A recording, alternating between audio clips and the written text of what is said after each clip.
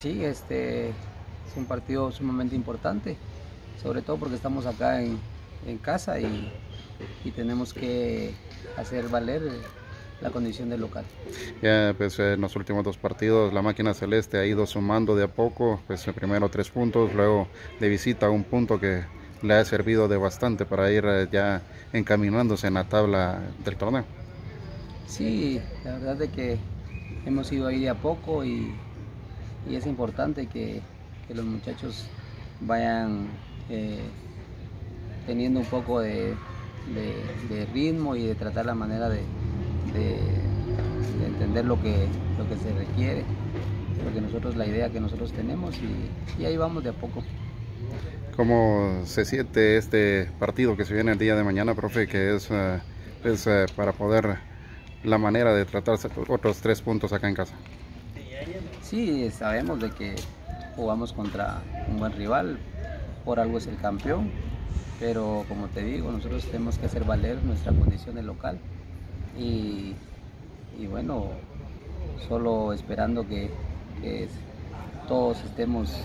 con las luces prendidas, bien aplicaditos en lo que nosotros necesitamos y para conseguir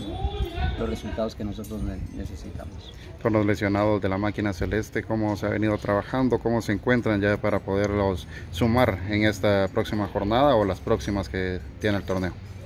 Sí, eh, para este partido creo que solo vamos a contar con, con la baja de, de, Tomás por el golpe que tuvo en, en la cabeza el, el, partido contra Shela. Se le está, sí, se lo está evaluando, el doctor lo, lo lo examinó el día de, ayer y creemos que no es conveniente que, que él esté para, para, el miércoles por, debido a que un golpe en la cabeza se torna muy delicado, entonces está ahí en, en observación, está bien, pero eh,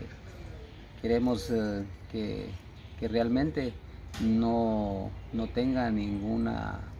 ningún problema a la hora de cabecear y entonces preferimos mejor este, que, que siga las, las, instrucciones del médico. Profe, también pues, cabe mencionar lo que han hecho los uh, juveniles que han ingresado con la máquina celeste, que pues, se les ha dado de buena manera. Sí, la verdad es que hay, hay una bonita camada de, de jugadores. Eh, se está tratando de darle continuidad a ese proceso sabemos muy bien y ellos eh, estamos en eso, platicando con, con ellos, hacerles ver de que aquí no